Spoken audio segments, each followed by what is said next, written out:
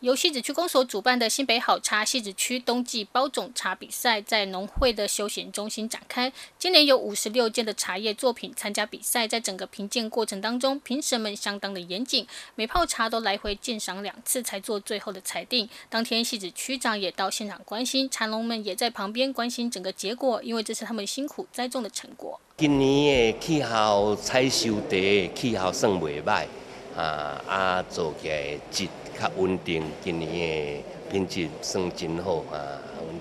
举办我们戏子地区的一个冬茶的一个比赛，那今年有五十六点的啊一个茶啊进来这边，那我们目前正在会场当中哈啊有我们的茶改厂啊以及文商农场的专家哈帮我们做评鉴，那我们希望说啊能够一起来推广我们文山包种茶啊这部分是我们戏子一个特产。今年我们冬季哈北部地区的气候非常的顺畅，好所以茶芽在生长。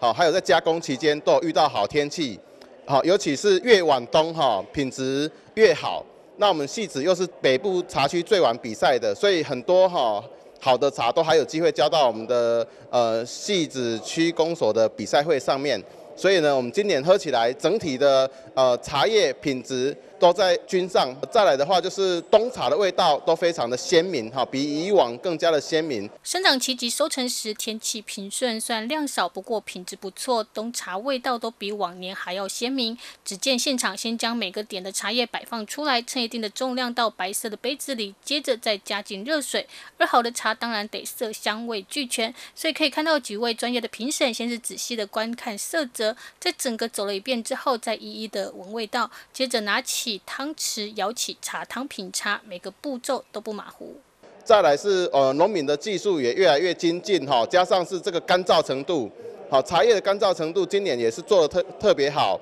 因此呢呃我们细子茶的这个稳定性哈，大家不用担心哈。文山包种茶好买回去的话，一定是非常的耐储放，那其他的茶都非常的好，好买到一定会物超所值。